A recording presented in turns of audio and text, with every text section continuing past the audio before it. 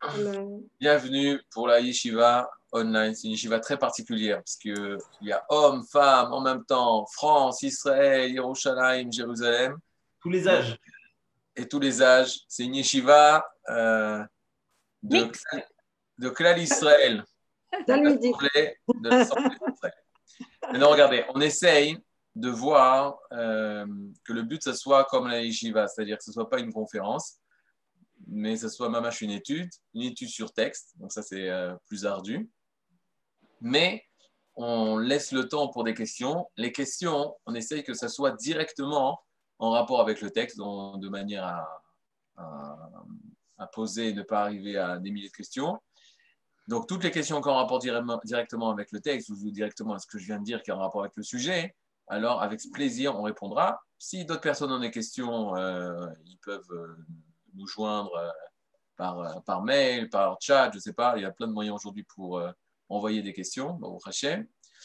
Et nous allons en fait lire le texte du, du Sefer HaKuzari, du livre de Kuzari. Je vais faire aujourd'hui une introduction importante pour comprendre là où on va, quel est notre but. Et le texte qu'on va, qu'on va étudier, on va, il est assez long au niveau de- du texte, donc on va peut-être des fois, des fois passer des passages, parce que ça va être trop dur pour pouvoir traduire. On va pas faire un résumé, mais on va essayer de, dépasser les passages un peu ardus et longs pour la traduction, mais on aura l'essentiel. Qu'est-ce qui est important, c'est que si vous pouvez euh, d'Internet descendre un texte ou avoir un livre du Kuzari, ce serait très bien pour pouvoir suivre. Et euh, sinon, moi, je vais faire un partage d'écran pour que tout le monde ait le même texte. Alors, on va commencer d'abord par une introduction très importante par rapport au livre. Comme tout le monde le sait, ou pas, le Sefer HaKuzari, le livre des Kuzars ou des Khazars, a été écrit par Rabbi Yehuda Levi. Alors, Rabbi Yehuda Levi, c'est en l'an 1130-1140. C'est-à-dire, il était en Espagne.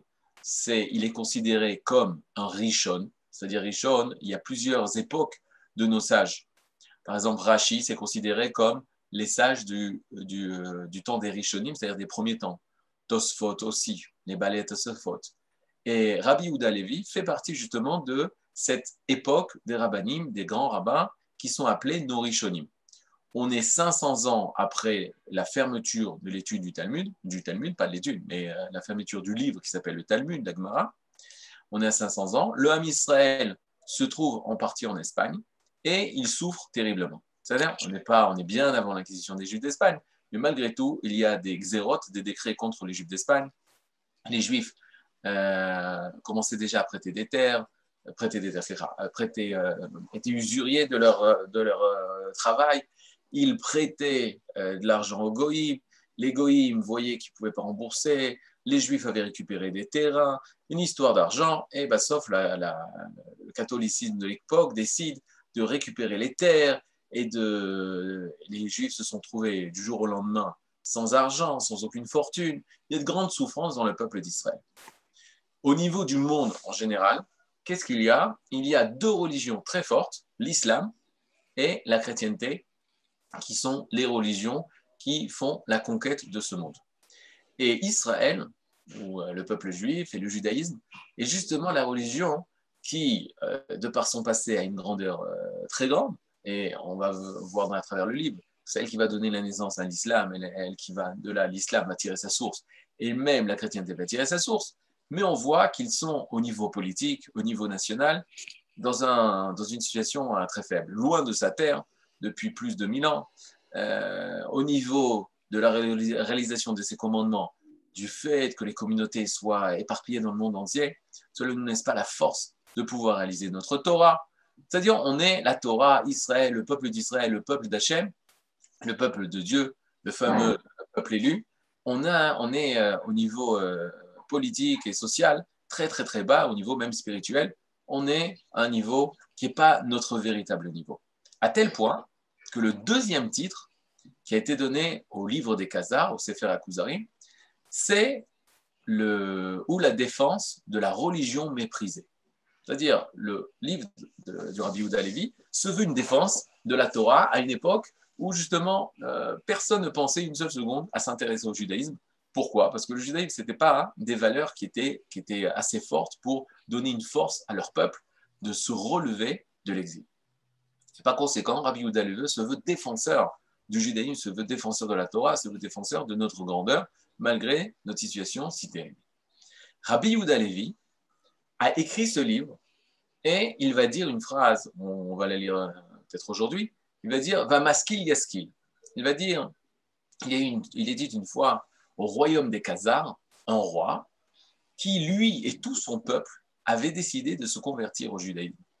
Et ici, dans cette œuvre-là, je vais raconter le, discours, la discussion qui a eu entre ce roi des Khazars et le sage, le sage d'Israël, le rabbin, avec lequel le roi des Khazars a discuté et qui a réussi à le convaincre, de par ses réponses, il va être convaincu qu'il faut se convertir, lui, le roi des Khazars, et tout son peuple, tous les Khazars, à Israël, à la Torah, au judaïsme. Et Rabbi Yehuda Levi dit, et je vais euh, vous faire part de la discussion qu'il y a eu entre le roi des Khazars et le rabbin. Ve'amaskil yaskil, et celui qui est sage, qui est savant, il pourra encore plus devenir savant. En fait, qu'est-ce qui est caché derrière ce mot? Il est caché une chose toute simple. Euh, il est clair que le discours qui est mis dans le livre des euh, Sefer Kuzarim, pas, ce n'est pas exactement, c'est presque pas mot pour mot, et même loin, loin de ça, la discussion véritable qu'il y a eu entre le roi des Khazars et euh, le rabbin de l'époque. Pourquoi? Parce que par rapport à l'histoire, l'histoire des Khazars, que d'après certains historiens disent que ça n'a jamais existé, d'autres historiens disent que ça oui existait, on a des preuves, etc. Il y a une, une marloquette, une controverse au niveau de la véracité de cette histoire. Est-ce que vraiment il y a eu un peuple qui, lui et son roi, se sont convertis au judaïsme? Ça, au niveau historique, il y a des controverses. Cette histoire, même si elle est vraie, elle s'est passée 300 euh, ans environ avant Rabbi Yehuda Levi. Comment Rabbi Yehuda Levi a pu véritablement savoir ce que le rabbin a dit au roi et ce que le roi a dit au rabbin? Ça, ça paraît impossible. Mais euh, il va essayer d'imaginer, et c'est ce qu'il fait dans son livre. Il imagine le discours entre un roi Goy et un rabbin euh, du peuple d'Israël qui se renseigne justement sur la profondeur d'Israël, sur la profondeur de la Torah, sur la profondeur du judaïsme. Donc il ne faut pas voir un livre historique, mais un livre métaphysique d'enseignement pur de Torah qui a été écrit par Rabbi Ouda Alevi. Sur un fond, une histoire dont il s'est servi, pour euh, nous expliquer des choses très importantes. Et euh, je ne vous cache pas que oui, l'histoire est importante de savoir comment ça s'est passé, pourquoi il a pris cette histoire d'un goy et pas d'un juif qui était euh, pas religieux et qui a décidé du jour au lendemain d'être religieux. C'est pas par hasard qu'il a choisi justement un roi goy, un royaume de non-juifs qui ont décidé de devenir juifs, c'est clair. Il faudra l'expliquer pourquoi Rabbi Yehuda Levi a choisi ce, cette histoire en fond de toile. Maintenant, ce qui nous reste à savoir, c'est pourquoi étudier le livre des Kuzari, pourquoi apprendre ce livre de Rabbi Yehuda Levi. D'abord, parce que comme tout livre qui a été écrit par un grand d'Israël, comme le Rambam, Maïmonide, on doit étudier le guide des agarrés parce que Rambam, Maïmonide l'a écrit. On doit étudier euh, le, le, devoir des cœurs, parce que euh, Rabbi Ben Pekouda l'a écrit. C'est-à-dire tous nos grands sages qui ont écrit des livres d'Israël, alors c'est sûr qu'il faut les lire. Mais y aurait-il un ordre y aurait-il un ordre d'importance des livres qu'il faut étudier? Alors, je pense que ce n'est pas par hasard qu'on a décidé d'étudier le, le, ensemble, pour la seule et bonne raison qu'il y avait un grand sage. Il y a euh, plus de 300 ans, presque près de 300 ans, il a dit la chose suivante. Il s'appelait le Gaon Rabbeinu Eliaou, c'est le Gras, le Gaon de Vilna.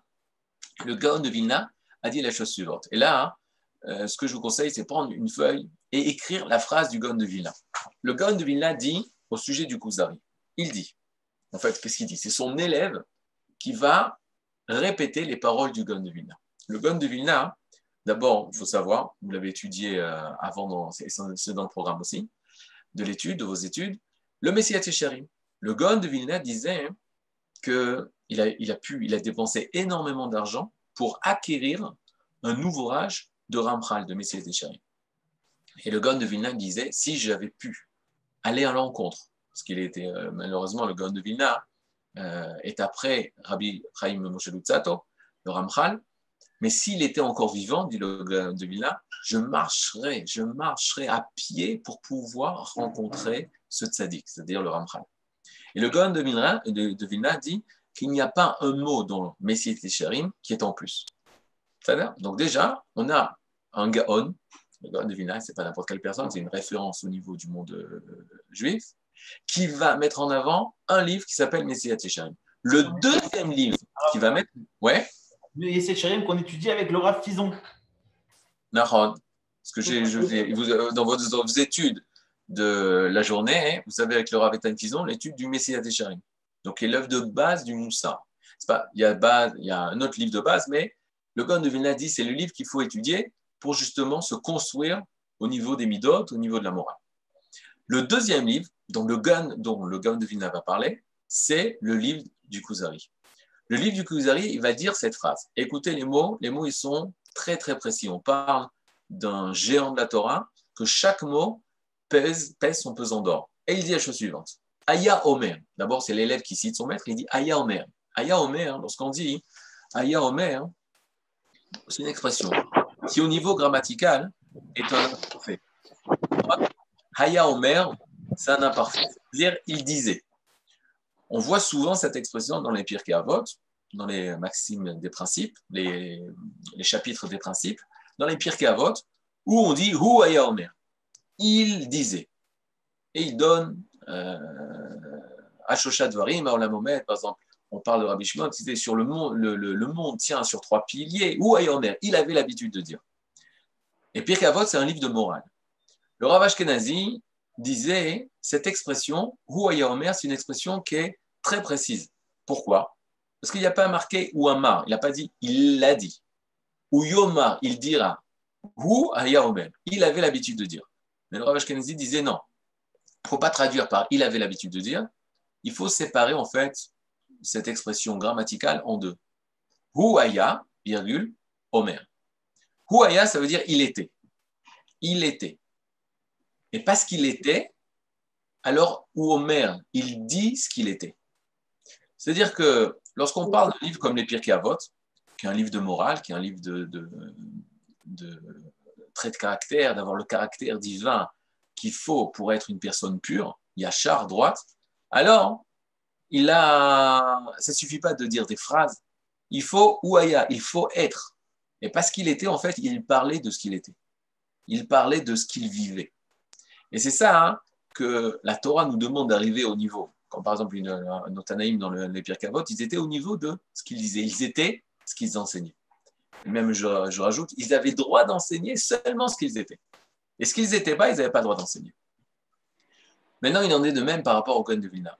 Le Gon de Vilna, quand il disait Aya Omer, c'est qu'il avait l'habitude de dire, mais dans le, sens de il était ce qu'il disait, c'est-à-dire il vivait pleinement ce qu'il était en train de dire. Et qu'est-ce que le Gon de Vilna disait à ses élèves? Il disait la chose suivante L'Ilmod Sefer Akuzari, il faut étudier le, livre des Kuzari. Le livre euh, Sefer Akuzari. Shehu, parce que ce livre-là, Kadosh Vetaor, ce livre, il est kadosh, il est saint, S-A-I-N-T. Vetahor, il est pur. Veikare emunat Israël vetora, tluimbo. Veikare et les bases essentielles de la emuna d'Israël et de la Torah d'Israël dépendent de ce livre-là. C'est-à-dire, on a une adracha, un enseignement très clair du Gon de Vina. Si, d'abord, il faut étudier ce livre. Parce qu'il est Kadosh Vetor. Maintenant, Kadosh Vetor, saint et pur, il y a énormément d'autres livres. Tous les livres du Ham Israël sont Kadosh Vetor, sont Kdoshim et Mais il dit, là-bas se trouvent les bases fondamentales d'Israël et de la Torah. Si tu veux avoir les bases fondamentales du judaïsme, il faut étudier le Sefer HaKuzari. C'est ce que le Gaon de Vilna disait. Maintenant, on veut essayer d'entendre de, la bouche du Gaon de Vilna Qu'est-ce que ça veut dire qu'un livre est kadosh? Qu'est-ce que ça veut dire qu'un livre est tahor?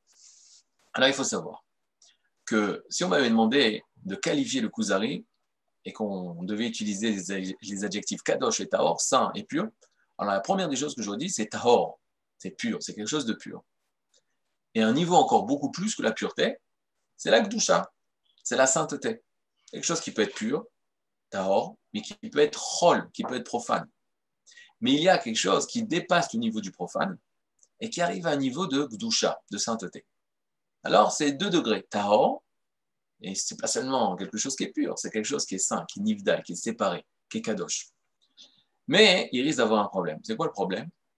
Tous les livres de Torah euh, dont on parle, dont on étudie euh, la source, alors ça vient, hein, c'est sûr qu'ils sont des livres de Kodesh, de Gdusha, de sainteté. Pourquoi? Parce qu'ils parlent de choses qui élèvent au-delà de la sainteté, qui nous élèvent au-delà de la matière et qui nous attachent à la sainteté, au Kodesh. Qu'est-ce que c'est le Kodesh? C'est toute chose qui ne vit pas de la matière, qui est dans la matière, mais qui n'a pas, qui ne dépend pas de la matière pour vivre, qui n'est pas rattaché à la matière pour tirer son existence. Ça, c'est quelque chose de Kodesh qui est nivdal, qui est séparé. C'est un peu ce qu'on va raconter au sujet, ce qu'on va dire euh, du Ham Israël. Le Ham Israël, c'est quelque chose de Kadosh. D'un côté, il est dans ce monde, mais il n'est pas de ce monde. Il ne vit pas de ce monde. Il ne vit pas de la nature. Il est au-delà de la nature, mais il est dans la nature. Ça, ça va être Kadosh. Tahor, qu'est-ce que ça veut dire Quelque chose qui est pur? Quelque chose, justement, qui n'est pas arrivé à euh, ce qu'on est atteint l'Akdusha.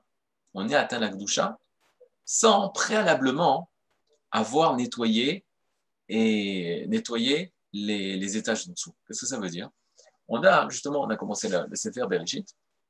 On a vu dans le Sefer Bereshit, dans le livre de Bereshit, dans la paracha, la première paracha de la Torah, une histoire terrible. On a vu des personnes qui pouvaient parler de Gdusha, parler de sainteté et faire des actes de Gdusha, mais sans avoir acquis préalablement la tahara, la pureté. À qui je fais euh, référence? À l'histoire de Caïn et Abel. Caïn et Abel, ces deux frères-là, vont faire un acte de Gdusha. Quel est l'acte de Gdusha que Abel, Evel et son frère Caïn, Caïn vont vous réaliser C'est un sacrifice. Un sacrifice, c'est faire un acte de Gdusha. Pourquoi? Parce qu'il s'adresse à Dieu. Ce n'est pas une chose pour euh, renforcer la nature ou pour recevoir la nature. C'est quelque chose qui est séparé du monde de la matérialité.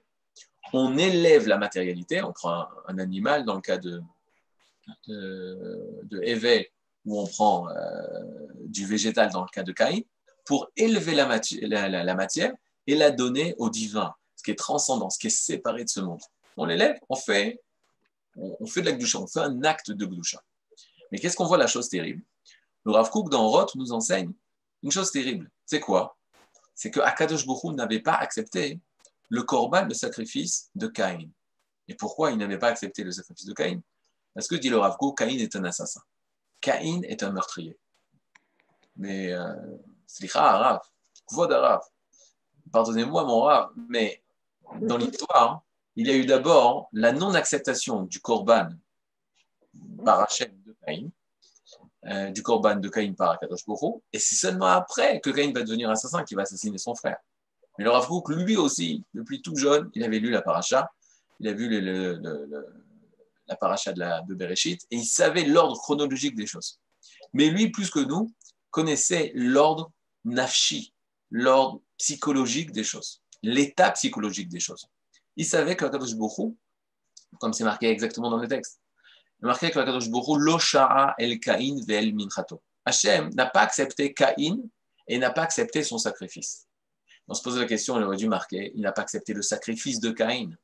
Or, le Rakouk nous dévoile Hachem n'accepte pas le sacrifice qui est apporté par un homme qui est encore attaché au mal, qui est encore attaché au mal.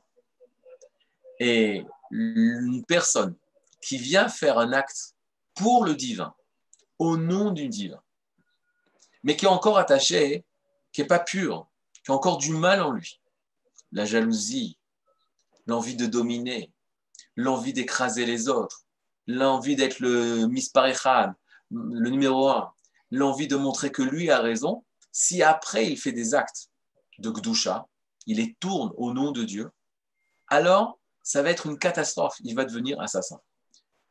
Il va devenir assassin. Ce n'est pas sans rappeler, malheureusement, ce qui s'est passé en France il y a quelques jours, même s'il faut euh, avoir une, une réflexion par rapport à la laïcité, par rapport à la liberté d'expression qui est un, sujet à, traiter. Mais quelles sont ces personnes qui sont capables de faire des actes si odieux, si barbares, si animaux? Ils font ça au nom de Dieu. Ils font ça au nom du Kodesh. Ils font ça au nom de la sainteté. Ils ne font pas ça pour gagner de l'argent, ils sont prêts même à mourir pour ça. Ils ne font pas ça pour être euh, adulés et reconnus. Même si peut-être il peut avoir ça, mais ce n'est pas ce qui leur donne la force. Là, je parle d'une force d'une personne qui est capable de passer à l'acte. Et là, hein, c'est le Kodesh. C'est au nom du divin. Au nom du divin, ils font des choses barbares. Pourquoi? Parce qu'à l'intérieur de eux, ils étaient impurs. Leur personnalité était sale. Et le Kodesh, la sainteté au nom du divin, ça peut décupler les forces du mal qui sont ancrées en eux et à passer à des choses, à faire des actes horribles que même eux n'étaient pas au courant qu'ils étaient capables de faire ce mal. Pourquoi? Parce que le Kodesh, sans la Tahara, la sainteté, sans la pureté, alors ça entraîne une catastrophe dans le monde. C'est toutes les guerres des religions. Toutes les guerres des religions, que ce soit les croisades, que ce soit les massacres qui ont été faits par des pères de famille, par des pères de famille, ou la Shoah par des pères de famille. Comment ils sont arrivés à des choses comme ça? Ils ont parlé d'un idéal, un idéal divin très proche de la religion, et ils n'étaient pas purs dans leur intériorité. Et ça, ça a décuplé toutes les forces, tout le mal qu'ils ont dans eux, ça les a décuplés parce qu'ils sont élevés au niveau du Kodesh, mais leur base était mauvaise. Le Gaon de Vina, pour revenir à lui, il donne l'exemple, il dit, le Kodesh, c'est la Torah, le Kodesh, la sainteté, la Torah, c'est comme de l'eau. C'est comme de l'eau. Maintenant, l'homme, Adam, c'est comme Adama, c'est comme la terre, c'est le même mot, homme, qui veut dire Adam. Au féminin, Adama, ça veut dire la terre. Fait la terre pour pouvoir qu'elle pousse, il faut qu'elle ait de la pluie. Maintenant, lorsque l'eau arrive, l'eau pénètre, il va faire pousser tout ce qu'il y a dans cette terre, tout ce qui était en potentiel dans cette terre. Le gars de s'il y a des ronces, ça fait pousser des ronces. S'il y a des roses, ça fait pousser des roses, des fleurs. Magnifique. Mais qu'est-ce qu'il y a dans cette terre? Qu'est-ce qu'il y a dans cet homme? Si dans cet homme il y a du mal, si cet homme n'est pas yachar, si cet homme n'est pas droit, si cet homme n'est pas droit, yachar, alors lorsqu'il va emmener de l'eau, emmener de la Torah, emmener de la Gdusha, ou comme j'ai dit, même au nom des religions étrangères à notre religion, mais parler de Dieu, parler du divin, parler quelque chose de séparé de ce monde, un idéal divin, un idéal euh, de sainteté, alors cette eau-là, qui est une puissance, va pénétrer cette terre, cet homme, elle va faire pousser, lui donner la force à tout ce qui est à l'intérieur de lui. Mais si c'est des ronces, alors ça va être une catastrophe. Il va pousser des épines qui vont faire du mal au monde, qui vont faire du mal aux hommes. Et je ne répéterai que mon maître, le rabbin il en est de même aux personnes. Une personne qui fait teshuva, une personne qui décide de retourner à la Torah, s'il n'est pas moral, s'il n'est pas yachar, s'il n'est pas droit, lorsqu'il va commencer à faire des mises il va être encore pire, pire, pire, pire, pire que s'il pas, s'il était resté non religieux. Et cette phrase, écoutez bien cette phrase parce que c'est important par rapport au livre de, du Kuzari pour comprendre là où veut nous emmener Rabbi Oudalevi. Un homme qui est mauvais, il vaut mieux qu'il ne soit pas dans la Gdusha, pas dans les mitzvot, c'est-à-dire en restant mauvais, en faisant encore des mitzvot, plutôt que euh, devenir religieux et faire des mitzvot, mettre du kodesh sur une personnalité mauvaise. Très terrible. Maintenant, quel rapport avec le Kadosh Vetor? Ben, C'est ce qu'aura. Oui Comment on sait, Tarles, si on est bon, suffisamment bon pour, euh, pour euh, aller dans le Kadosh ou, ou est-ce que c'est qu'après 10 ans d'Yeshiva et après on a le, le rabbin qui dit c'est parti? Comment on sait qu'on est suffisamment bon pour faire du bien? Il y a une halakha, il y a une halakha qui dit que le rabbin n'a pas le droit de recevoir à la yeshiva une personne qui est pas convenable. Online, on accepte tout le monde, non? Mais ici, on ne va pas étudier euh, ce qu'on va étudier quand la. Ici, on va étudier en sachant que justement les personnes, elles veulent, elles veulent essayer de comprendre. C'est quoi la différence entre Caïn et nous? Une personne qui ne veut pas changer, qui ne veut pas changer, alors toute la Torah qu'elle étudiera, ah, ça, ça, fera pousser toutes les ronces qui sont en lui. Toutes les votes qu'il fera, ça fera pousser toutes les ronces qui sont en lui. Mais si une personne, elle veut, elle a cette humilité, je veux changer, je veux connaître, je veux grandir, alors là, cette personne a le droit d'étudier la Torah. Pourquoi? Parce que ce que je n'ai pas dit, c'est que si une personne veut changer, ce que Caïn ne voulait pas changer, Caïn il pensait qu'il avait raison. La preuve, c'est comme il était mauvais, il était prêt à s'approcher d'Akadosh Baruch il dit Moi, Je n'ai pas besoin de changer. Je suis même prêt, proche d'Akadosh Bourou. La preuve, c'est que je me présente devant lui pour faire des sacrifices. Alors, en effet, une personne qui ne veut pas changer, toute la Torah qu'il étudiera, ce serait une catastrophe. Il vaut mieux qu'il étudie euh, des maths. Il vaut mieux qu'il étudie de, la médecine. Mais pas de Torah, pas de mitzvot. Tandis qu'une personne qui veut changer, la Torah, il sait qu'il a des ronces à l'intérieur de lui. La Torah le pénètre et détruit les ronces et les transforme en roses, en fleurs magnifiques, et là, ça les fait pousser. Mais ça, c'est seulement la condition si on vient mitor anava, si on vient pousser par l'humilité, je veux changer, je veux écouter ce que la Torah veut me dire. Donc, si une personne parmi vous veut savoir ce que la Torah a à me dire pour pouvoir grandir ma vie, pour pouvoir être meilleur, pour pouvoir être tov, yasha, kadosh, etc., droit, pur et saint, alors personne n'a le droit d'étudier la Torah. Mais si c'est seulement pour euh, avoir un doctorat en judaïsme, qu'est-ce que pensait Rabbi Yehuda etc., ça, c'est pas Torah. Et ça, ça ne change pas une personne. Donc en effet, euh, de quelle euh, étude de Torah on parle? On parle que la personne a le droit d'étudier, mais elle a la condition de vouloir changer, de vouloir devenir meilleur. C'est pour ça, c'est comme ça que la Torah commence. Rabbi Yehuda Levi divise son livre en cinq chapitres, cinq discours. C'est en rapport au Hamisha Kumshe Torah, aux cinq livres de la Torah. Le premier livre de la Torah, qui est Bereshit, son but, c'est pas de nous donner les mitzvot. Son but, c'est de nous apprendre la nature d'Israël. Avraham, Yitzhak et Yaakov, qui étaient des gens yesharim, qui étaient des gens droits. Le premier départ, avant recevoir les mitzvot, avant recevoir les commandements, recevoir la sainteté, c'est d'être yachar, d'être droit. Euh, un élève m'a dit, mais euh, les goïms aussi, ils peuvent être yesharim. Ce n'est pas spécial à Israël. C'est vrai, les goïms aussi. D'ailleurs, les goïms, quand ils lisent le livre de la Genèse, ils s'identifient. Ils s'identifient au bien qu'Abraham a fait. Ils s'identifient au bien que Yitzhak a fait. Ils s'identifient à l'histoire de Yaakov contre Lavan, etc. ils peuvent s'identifier. C'est bien, il faut qu'ils s'identifient, parce qu'eux aussi ont le devoir de devenir Yachar. Nous, la différence, il y a plusieurs différences, mais une différence importante, c'est qu'on n'a pas le droit de s'arrêter ici. Un goy peut s'arrêter au niveau d'être Yachar, d'être droit. Nous, on doit continuer. En restant Yachar, en restant des personnes droites, emmener le Kodesh, emmener la sainteté. On ne doit pas s'arrêter. On doit faire les mitzvot, ce que les goyim ne doivent pas faire. Ce n'est pas dans leur tafkid, ce n'est pas dans leur fonction. Mais avant tout, être yachar. Aujourd'hui, on voit en Israël des personnes. Parce que le natif dit, natif dit Hachem n'aime pas les tzadikim. Hachem ne supporte pas les tzadikim qui ne sont pas yesharim. Hachem ne supporte pas les tzadikim Ils sont justes parce qu'ils font des actes justes. Ils, mettent les tefillines, ils inspectent Shabbat mais qui ne sont pas yesharim, qui ne sont pas droits. Qu'est-ce qui n'est pas droit? Qui ment, qui cache, qui trompe, qui essaye de, de, de, faire des combines, etc. C'est vrai, bizarrement, dans la Torah, il n'y a pas marqué, euh, euh, il a pas marqué, tu n'as pas le droit de, euh, de mentir. Pas marqué dans la Torah, tu n'as pas le droit de mentir. Tout ça, c'est au niveau des midotes. Mais pourquoi il n'y a pas marqué? Parce que c'est tellement pas chou, c'est tellement simple. Et tout le livre de Bereshit, il vient nous apprendre ça.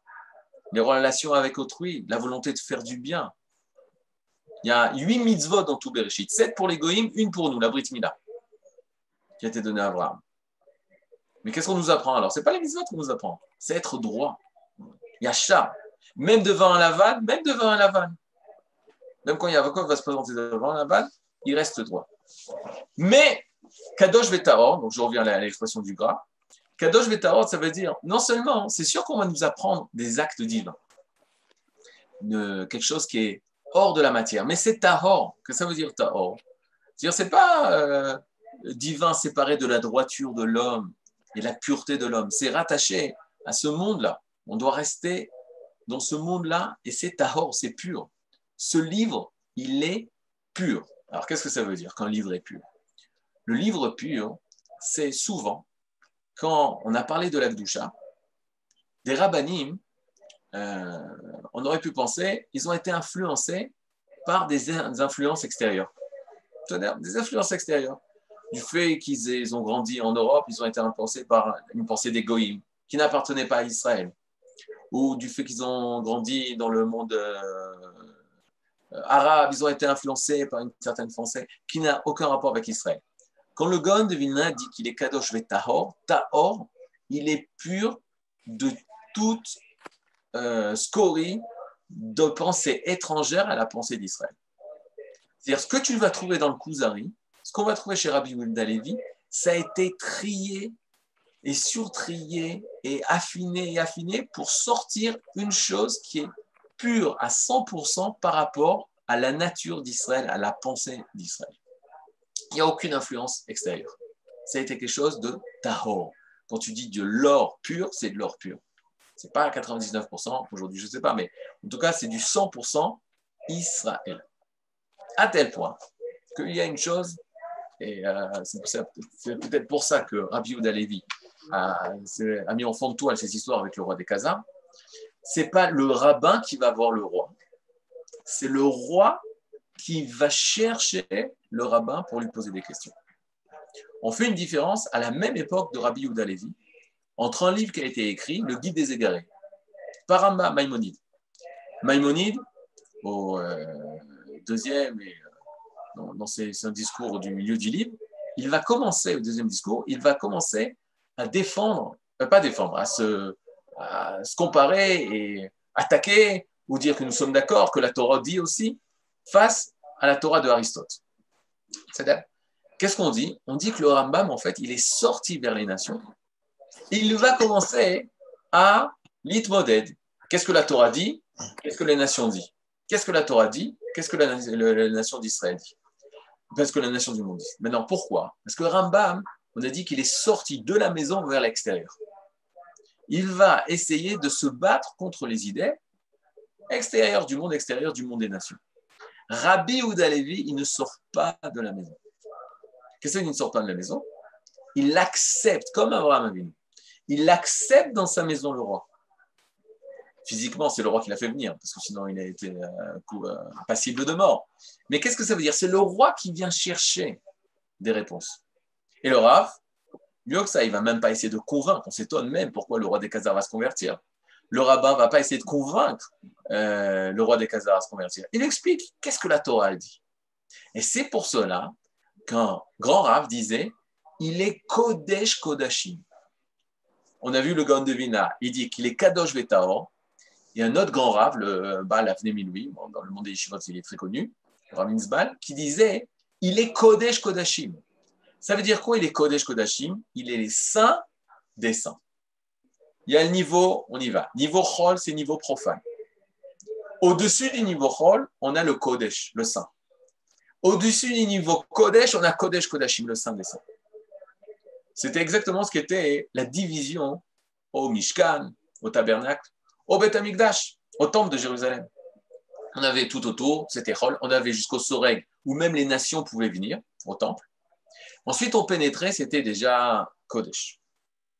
Et quand on pénétrait au tout profond, au tout, la, salle la plus profonde, la plus à l'intérieur du temple de Jérusalem, qui s'appelait le Saint des Saints, c'est Kodesh Kodashim. Qu'est-ce qu'il y avait au Kodesh Kodashim? Au Kodesh Kodashim, il y avait l'arche de l'Alliance.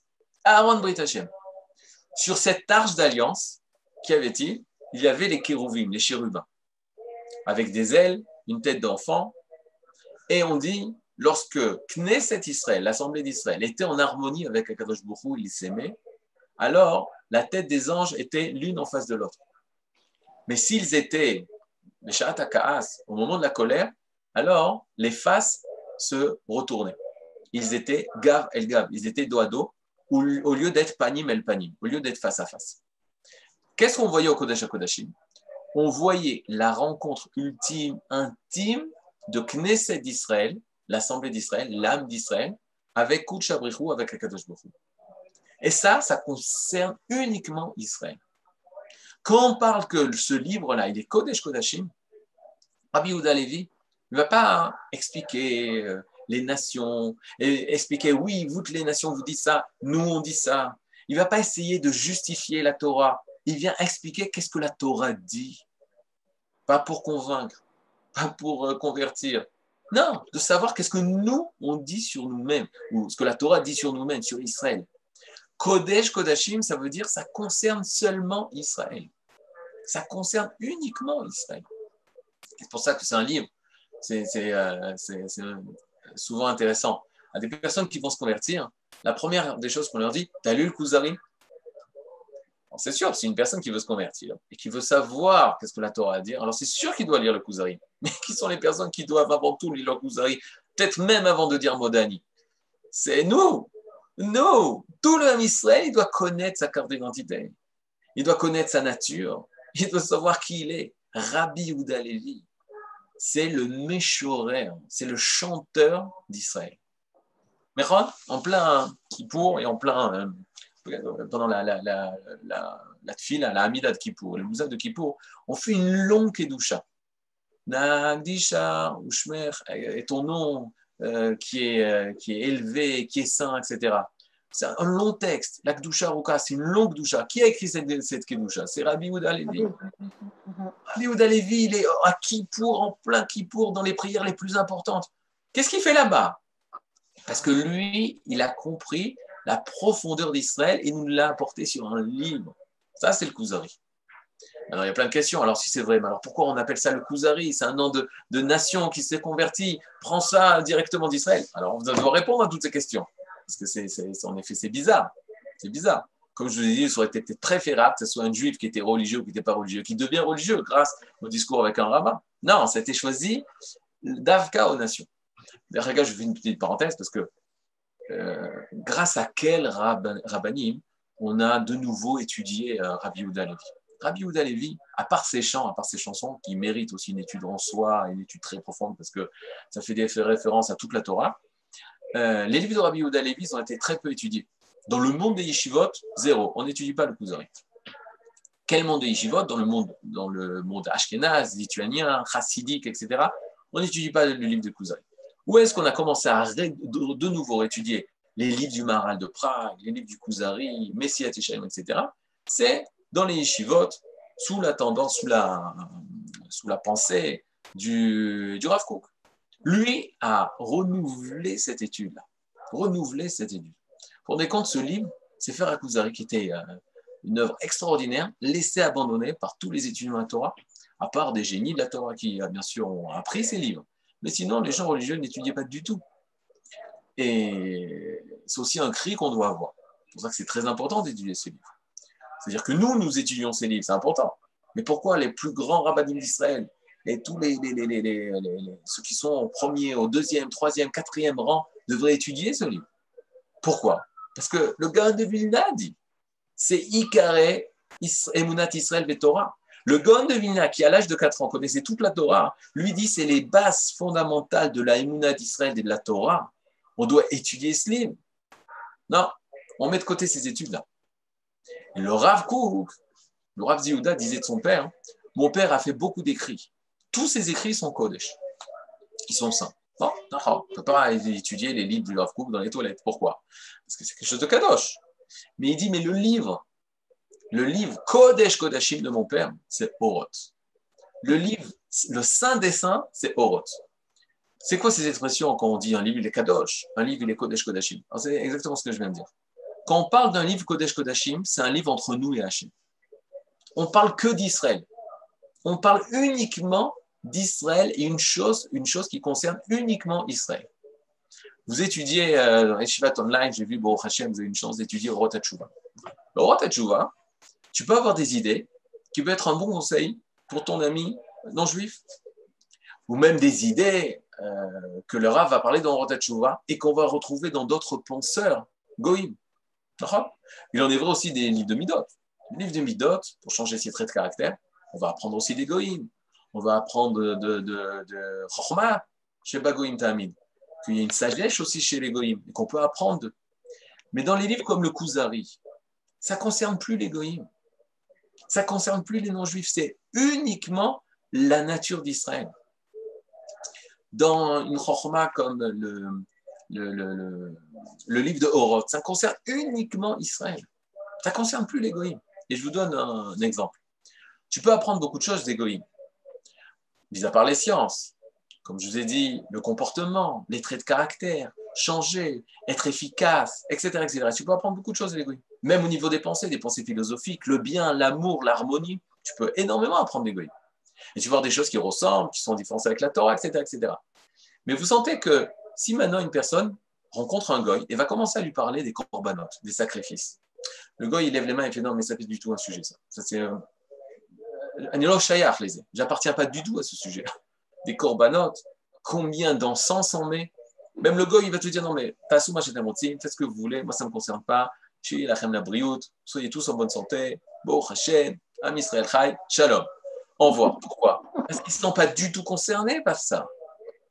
C'est exactement la même chose. C'est exactement la même chose. Quand on parle du Kuzari, c'est que nous. C'est que Am Israël. Quand on parle de Horot, c'est que nous. Une personne peut lever le, doigt et dire Mais attendez, dans Horot, j'ai lu.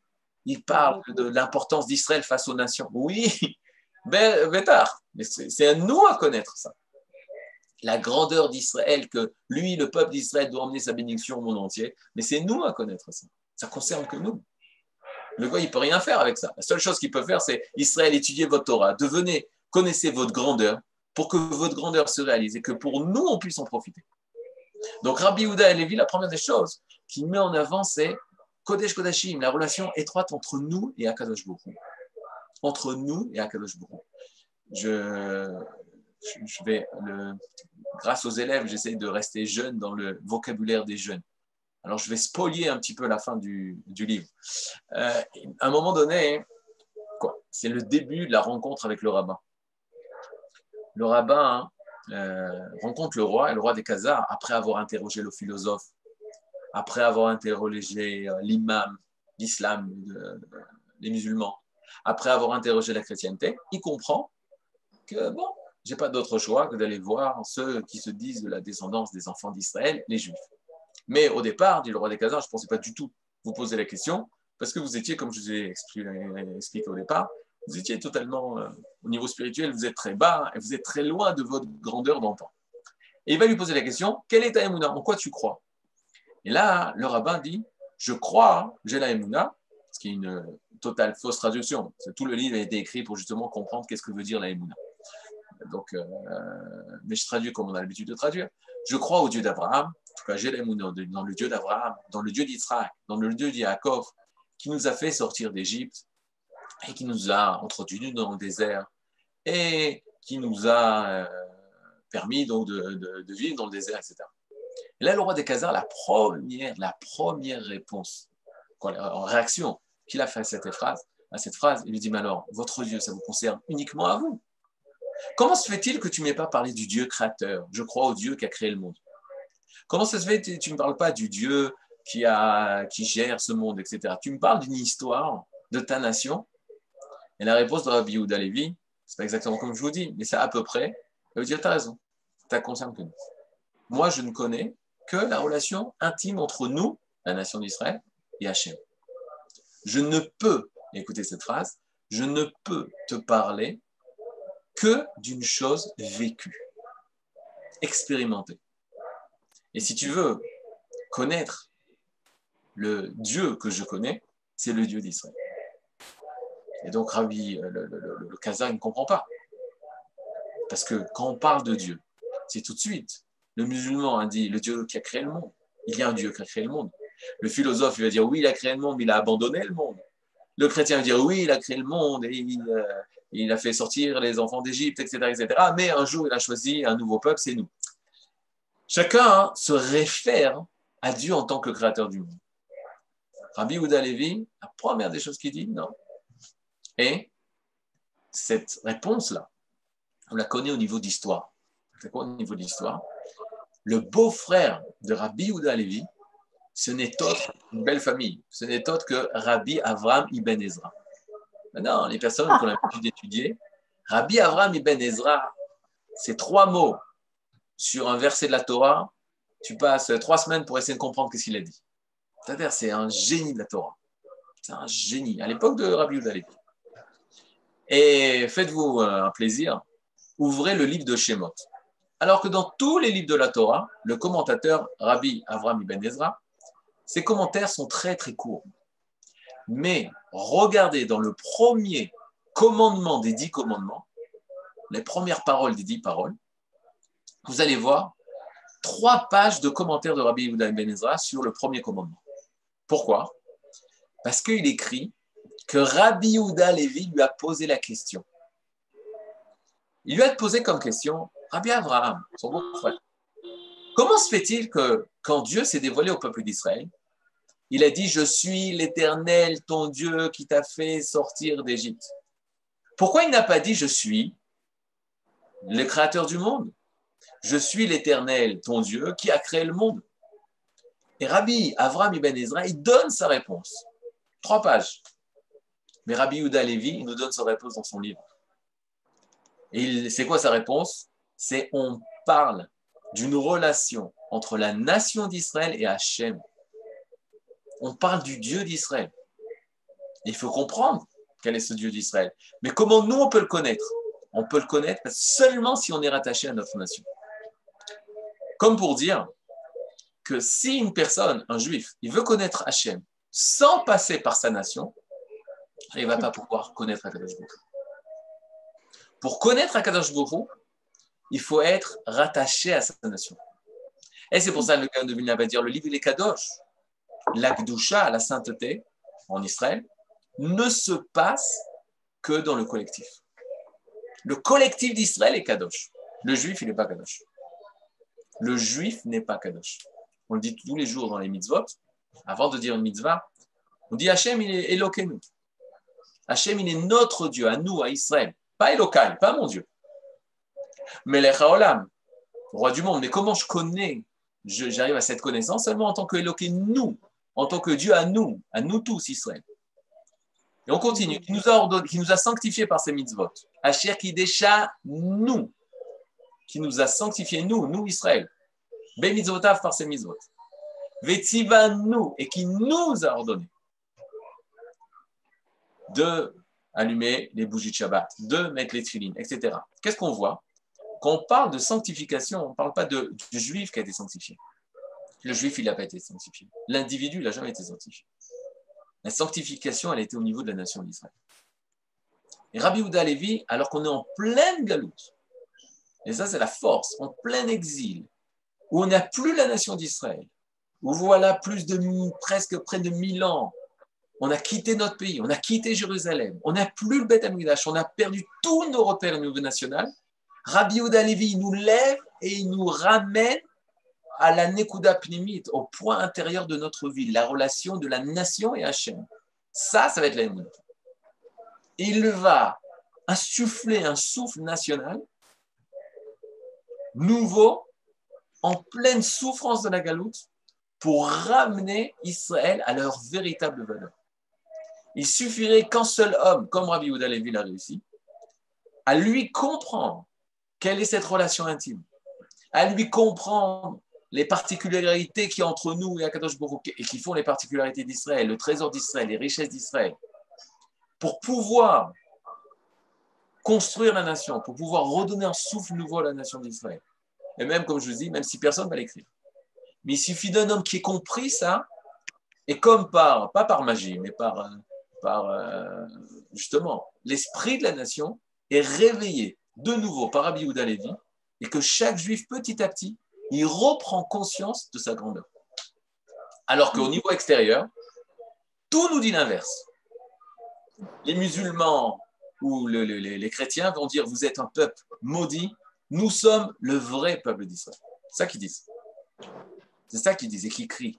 Et nous, de l'extérieur, on a, c'est un Lévi, c'est pas par hasard, c'est un Lévi, un chanteur, un méchorère, qui va chanter le chant de la nation. Rabbi Yehuda Lévi, c'est pas parce que Rabbi Yehuda Lévi en tant que poète, Rabbi Yehuda Lévi en tant que Talmid Chacham qui écrit un livre de Emouna. Non, c'est la même, chose. Il va mettre par écrit, d'une manière qui nous explique au niveau euh, intellectuel, mais il va nous rattacher à la vie d'Israël. Quelle est cette vie particulière d'Israël? Ça, c'est la grandeur de Rabbi Yehuda Lévi. Et donc, vous comprenez, c'est pas par hasard. Lorsque nous, on retourne concrètement en Israël, alors ça suffit pas qu'un rabbin étudie euh, le Kuzari, que dix rabbins étudient le Kuzari. La nation tout entière. Parce que c'est la nation qui se, réveille de nouveau, en vrai. Donc chacun de nous qui fait partie de cette nation doit comprendre quelle est la nature de cette nation. Et il exprime, je pense, justement, le, le terme de galoute quel est le terme de galout? Galout veut dire l'exil. De notre côté, bizarrement ou pas bizarrement, ou comme fait exprès, un fait exprès, ça veut dire les galotes.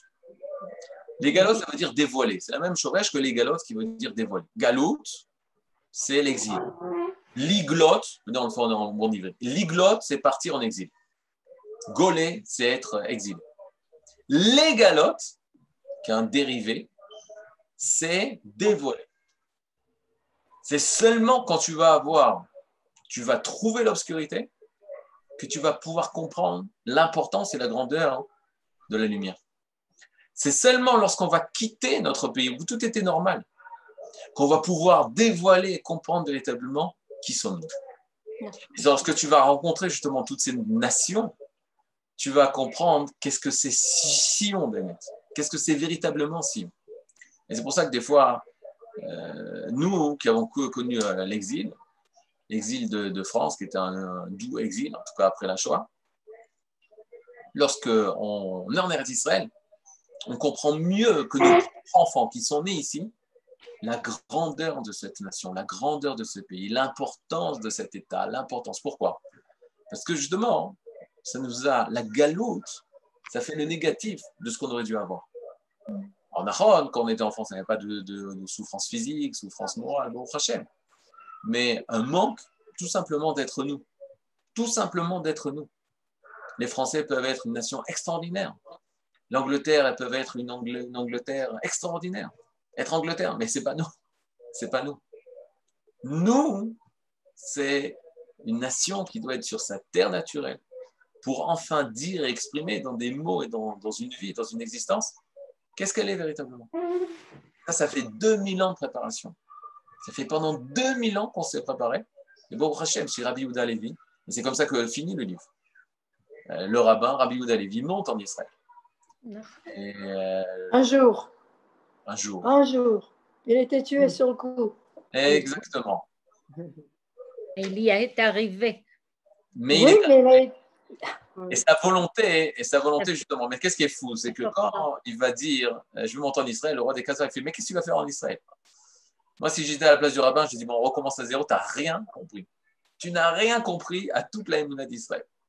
Si tu me poses à la fin de la question, à la fin du livre, ça fait euh, cinq ans qu'on a étudié ensemble, et tu me poses la question, mais qu'est-ce que tu vas faire en Eretz Israël?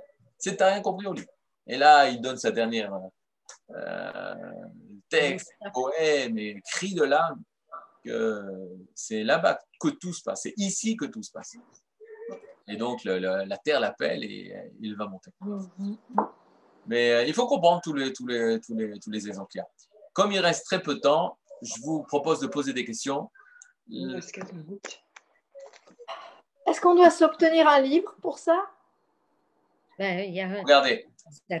Je, vous, pouvez avoir on, un livre. On, se procure le Kuzari? Vous pouvez vous procurer le Kuzari. Maintenant, si vous avez des difficultés sur Internet, euh, vous avez des textes de Kuzari, comme vous voulez. Si vous avez un livre, de toute façon, un livre, c'est toujours euh, mieux. Parce que vous pouvez suivre sur le livre, euh, vous pouvez étudier sur le livre, ressortir le Shabbat, dire, même dans la semaine. Donc c'est sûr, c'est toujours bien. Maintenant, sur Internet, il y a, des, des, textes. C'est Faria. Faria, il y a aussi. Et dans Wikitext, j'ai trouvé moi sur Wikitext, ils ont, ils ont mis sur Wikitext la traduction de Ibn Shmuel. Donc c'est la traduction qu'on va faire. Il y a beaucoup de traductions. Ah oui, c'est une chose importante aussi. Euh, on ne pourra pas préciser chaque mot. Vous ne pouvez pas commencer à dire oui, mais il utilise ce mot à la place de ce mot. Pourquoi? Parce que c'est une traduction. Le Kuzari, ça a été traduit à partir de l'arabe. Mhm. Il y a une dernière euh, très, bonne, très bonne traduction, mais comme. Euh, c'est quoi ça? C'est une bonne traduction hein? le Rav Shilat. Mais nous, on n'aura pas besoin d'arriver jusqu'à ce niveau de, précision. Si vous avez la traduction qui sont diffusées de Ibn Shmuel sur Internet, vous pourrez l'utiliser.